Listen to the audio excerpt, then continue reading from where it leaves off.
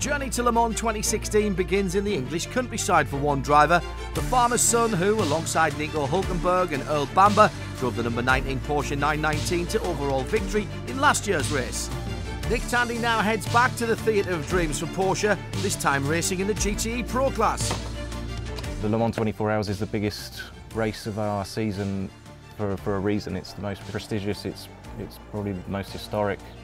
It's the one that all the manufacturers want to win and it's, it's the one that all the drivers want to win. Last year was just the most amazing week and weekend of my career. That place will always be super special to me, so uh, getting ready to, for the drive down there and um, yeah, looking forward to it again. Aside from Le Mans, Tandy's spending a lot of time in the US. After helping teammate Patrick Pilet to the US IMSA Series title in 2015 with an epic winning drive through the rain at Petit Le Mans, this year Tandy is racing the full season in North America.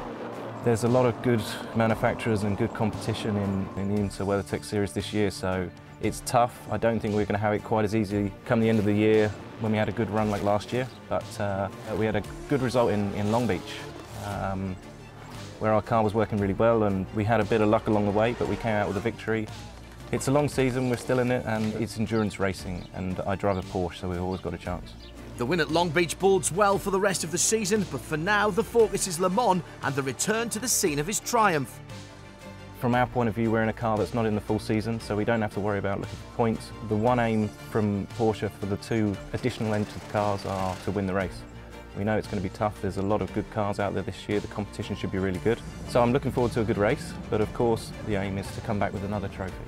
Porsche and Audi's agreement not to run a third prototype car at this year's race has denied Tandy the chance to defend his overall title.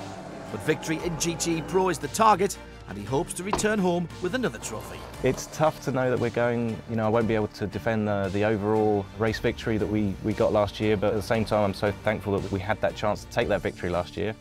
Having one trophy sat in my house to look at every day is nice, but uh, I'm not too sure how many people have won back-to-back at, at the event in two different classes, so that is definitely the one that's on the list.